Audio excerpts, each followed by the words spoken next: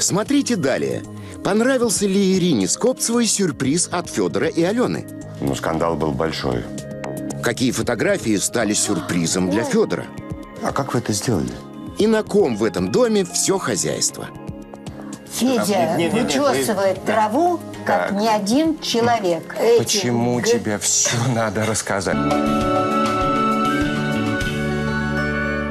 А, Кстати, легенда гласит, что вы с сестрой любили похулиганить и подкладывали в бу- букеты, которые дарили О, это Ирише. страшная история была. Бумажки! Псевдозаписки какие-то. Ой, Это был один раз. э, А один раз все было, то есть это не система? Ну, скандал был большой. Дайте милостыню Христа Уйди ради. прочь. Не велено говорить с заключенными. Поди, старик. Я виднее тебя. Ты на воле.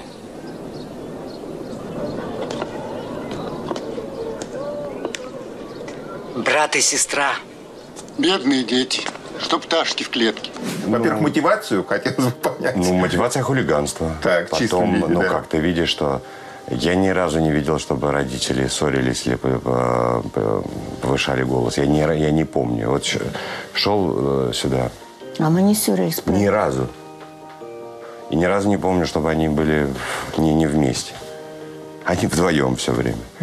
А, ну, наверное, от этого как-то Ага. пошутить. А чья идея была? Алены или ваша? Ну, наверное, Алены. Она постарше меня на э, На пять пять лет. лет. Мгм. Мы в букет, который мама принесла, в один из букетов, мы положили записочку там от Ивана Ивановича. Ну и потом это все взорвалось. Ну, еще как-то по- помогли папе Сергею Федоровичу, чтобы он увидел эту записочку. Но мы не ожидали, так сказать, э, такого. Сами испугались тут же. Сказали, что это наша шутка. Пошутили. Ну, то есть ревнивый От был пока- да. действительно Отелло, да, вот просто. Ну да, вот я это видел. Один раз, больше не шутил. Платок, что я любил и дал тебе, дала ты кольцо. Клянусь я жизнью. Я видел сам платок в его руках. Значит, он нашел. Платка я не дала. За ним пошлите. Пусть правду скажет. Он уже сказал. А вы ревновали мужа? Нет. То есть на- настолько уверены всегда в своей красоте и в своей воле, что Нет, вот никогда это не возникало? последний конец фразы ко мне не относится. А, я не знаю, у нас были такие, эм, такие взаимоотношения, что мы как одно целое были. Сергей Федорович, когда э, приступил к войне и миру, а, сказал, что а тут родилась Аленка, он мне говорит, я снимаю картину, а ты все остальное. Ко всему остальному относилось то, что тут же э, в первые дни съемок э, Бонни говорит, Ир, подготовь мне салон Элен. Актрисы пять народных. Конечно, они приходили, смотрели на меня как на ученицу, а теперь вдруг жена режиссера. А, И мы так все сорганизовали. Правда, помогла мне и баба Маня, и баба Юля. Мы напекли пирожков, все вымыли. Это нашу- мама и м- ба- моя Бабушка, и, бабушка мама. и прабабушка. А, вымыли г- гримерную, э, наставили цветов. И три дня э, мои актрисы наслаждались, наслаждались тем, что э, была действительно вот э, понимаешь, вот мы к концу съемки, наверное, тоже будем очень по-другому относиться, а, э, не так, как когда вы пришли, понимаешь? И вот такие задания давала, что, конечно, нужно было вертеться. Вы вот себя ощущали в этот момент партнером или исполнителем? Да всем. Я и чтобы белая рубашка была, я и чтобы я текст знала, и чтобы хорошо выглядела. Да нет, ну, у нас была дружная семья.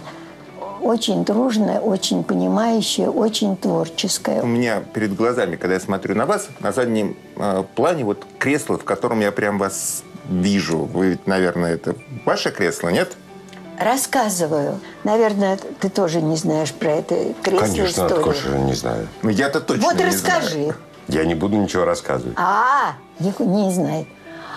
Вот когда Бондарчук давал мне задание, ты должна сделать то-то, ты должна мне помочь, ты должна организовать народных, а народные же мои в прошлом учителя, пригласили двух женщин, актрис Ирину Федоровну Шаляпину. И другую фамилию не буду называть, она связана с именем Маяковским и с трагедиями. И Ирина Федоровна приходила, пила с нами чай, а потом отвела меня в коридор и говорит, Ирочка, я хочу вам подарок сделать. Только вы не обижайтесь на этот подарок. Я говорю, какой? У меня есть папина рухлядь, кресло. Там кроме остова, стальных пружин и конского волоса больше ничего нет. Я отреставрировала это кресло – и оно стоит, сколько мы здесь живем, столько оно стоит у нас. И я говорю, это шаляпинское кресло. И потом после съемки предлагаю вам посидеть в нем. Вы поймете, какая идет от него энергия. А как вот актер так. вам нравится Бондарчук? Федя? Да. Я его обожаю. Вы его обожаете больше как режиссера или как актера?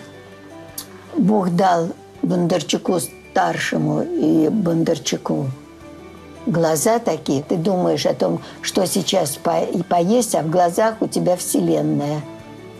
Вот отсюда это просвечивается. Стоило вам приехать сюда, чтобы я это наконец-то услышал. Здесь вам не учебка, здесь война! Здесь двойки не ставят, здесь убивают! Забрать говно это! Воробьев! Сменишь его. Может быть, так и не нужно, но мне, например, очень хочется прочитать э, сценарий, который э, снимает, э, будет снимать Федя, сценарий, в который будет сниматься Костя. Сейчас Костя снимался в детском фильме, смешном, хулиганском фильме, играет Пушкина. До того момента, как я не посмотрела этот фильм, я и зашлась. Ну, как там у тебя? Ну, похож, не похож. А, грим, как, что? Кто это? Пушкин. Мы видим, что не Лерман. Это вы подготовили фокус для Олимпиады. Отвлекли внимание часами и бац, прямо из воздуха живую пушку. Молодцы. Так, так я живой, и это все мне не мерещится. Но меня уже не хватает.